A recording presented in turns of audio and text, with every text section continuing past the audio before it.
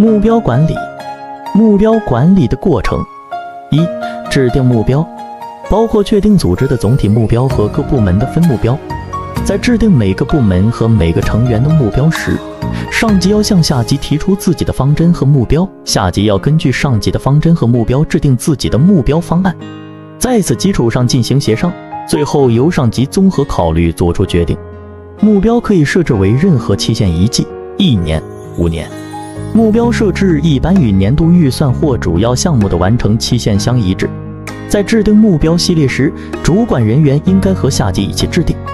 二、明确组织的作用。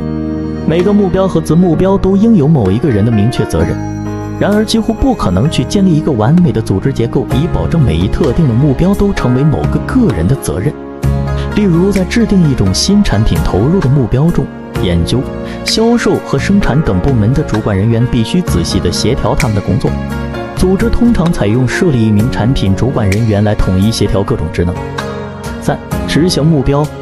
为了保证成员有条件组织目标活动的开展，必须授予相应的权利，使之有能力调动和利用必要的资源。有了目标，组织成员便会明确努力的方向。有了权利。他们便会产生与权力使用相应的责任心，从而能充分发挥他们的判断能力和创造能力，使目标执行活动有效地进行。四、评价成果。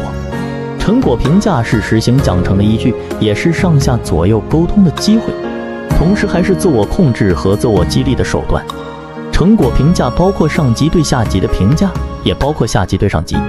同级关系部门相互之间以及各层次组织成员对自我的评价。五、实行奖惩。奖惩可以是物质的，也可以是精神的。公平合理的奖惩有利于维持和调动组织成员饱满的工作热情和积极性。奖惩有失公平，则会影响成员的工作积极性。六、制定新目标并开始新的目标管理循环。成果评价与成员行为奖惩，既是对某一阶段组织活动效果以及组织成员贡献的总结，也为下一阶段的工作提供了参考和借鉴。